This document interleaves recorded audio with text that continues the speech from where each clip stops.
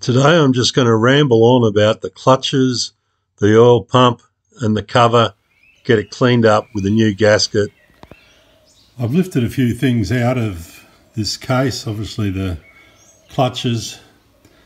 I've released the oil pump, that's the little pinion that goes on the crankshaft and I've been mopping out the floor of this case with the paper shop rag.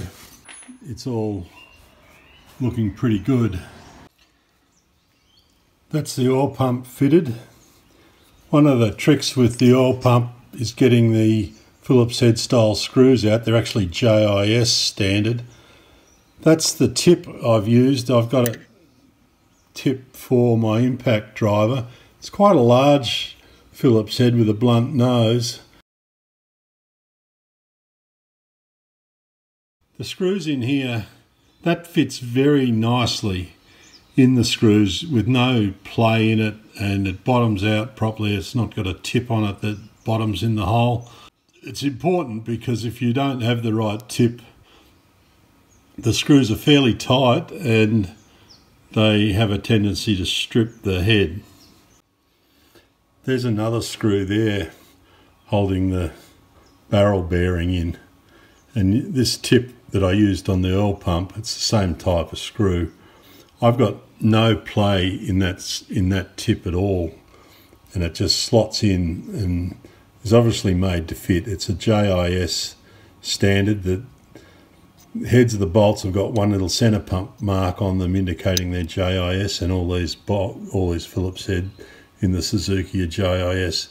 And then with the right screwdriver, you've got no problems in getting them out just calling out, there's corrosion on the bottom of this clutch basket here and around here and in there. It's uh, questionable as to whether that corrosion happened while a component like this was in the bike. I don't think there's evidence of corrosion on this face of that same gear. My feeling is that corrosion like that's happened prior to the bikes being assembled. It, it's appearing in some odd places. I'm putting the clutch basket back together. This is an example of a friction disc out of the clutch basket. They all look much the same. They're supposed to be 2.4 millimeters thick or something. I know from my previous bikes this one looks great in terms of amount of friction material. This is a steel ring that goes in between each one. They're all like that. I think they look fine. So I'm just stacking the stack of those up. This spool and then the whole lot's got to be tipped over and all of the friction discs aligned to slot into these slots around there. Just those slots there. The bottom of my centrifugal clutch cup has more corrosion around these sides, which I find quite unusual. Internally, the walls of the cup are in pretty good shape. They're uh, not very grooved. I'm happy that this cup will go again. It's got a heat mark on it, but I think that's fairly typical. I'm going to put, I'm going to run the wire wheel on some of this rust just to see if it smooths it off a bit and then I'll fit it. I've given this cup a run on the wire wheel which has reduced the, the burn mark around the outside there I think it's just basically burnt oil.